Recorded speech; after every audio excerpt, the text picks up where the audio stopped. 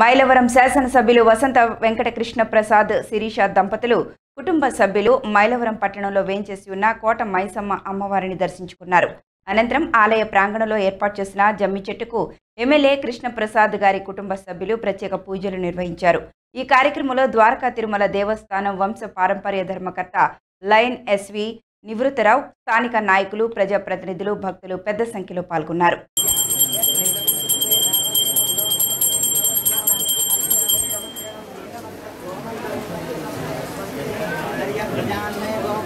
अमृतत्वाय जीवसे जातां च अमृते सच्चेः प्रतिष्ठिताम् अदर्वग्निः अलप्तायो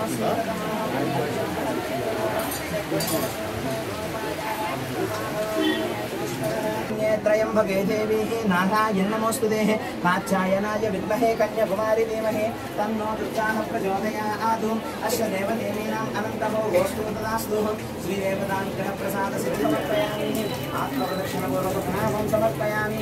शस्त्रजामराजीः समस्तराजोपचारान् समर्पयामी